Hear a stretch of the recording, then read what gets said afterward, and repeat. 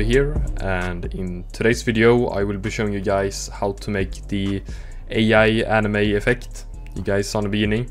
Thought it looked pretty cool, so I'm excited to show you guys how to make it. If you guys want to support me, I have a website with some editing packs that could, you know, benefit you in your editing and save time. Uh, but yeah, let's get right into this tutorial here. So the first thing you're going to do is to import your footage you want to use for this uh, effect and I'm going to use this clip here from Kani's music video I Know. And when you have chosen your clip here, you're going to render it out. So you're going to go up to File, Export, Add to Render Queue.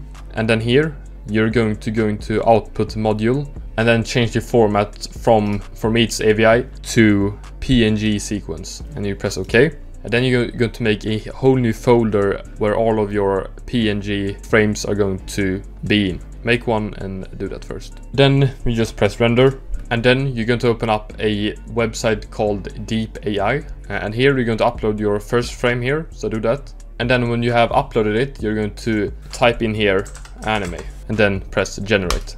And then when you generate, it should look something like this here. And it looks pretty weird here, but you can regenerate all the time so you get the look you guys like. Okay, so I thought this looked pretty cool. I mean, it doesn't look like perfect, you know, anime, of course, this is AI, but uh, I think it makes a pretty, pretty cool effect when you have all these different versions of uh, anime. You're basically going to press enhance to get a more high quality version of the image, and then you're going to press download. And then you want to do the same process again for how many frames you want this effect to appear on. And when you're done with that, you're going to import all of your frames, and then you basically just want to cut away one frame here all the time. Select layer, press Ctrl Shift D, do this on all the frames you have generated.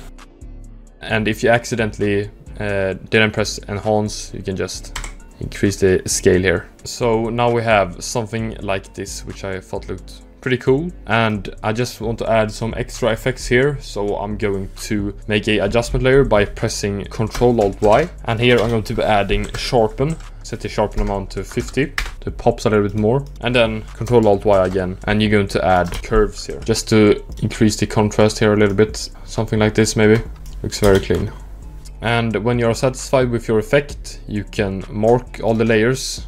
Pre-compose. And then here you're going to add RSMB, so it becomes a lot more cleaner during the transition between the frames here. So I'm going to set the blur amount to 1, Alt Motion Source to AI Anime, our composition, and then the motion sensitivity to 100. Just to spice it up a little bit more, I'm gonna use a CC from my new CC pack. So here I'm going to add the 6 CC from my uh, CC pack. Pretty cool CC in my opinion. So yeah, if you are interested in my in this CC, you can check out my website uh, where you can find it for a very cheap price. I thought this effect looks pretty pretty cool and uh, as I showed you guys now you can really spice it up with some extra effects on top of it. I really have to learn AI more because it's a pretty pretty cool tool to use for editing. If you guys enjoyed this tutorial, please like and subscribe. And if you have any new ideas on tutorials I can make, please comment that down below. And don't forget to, you know, check out my website for the CC,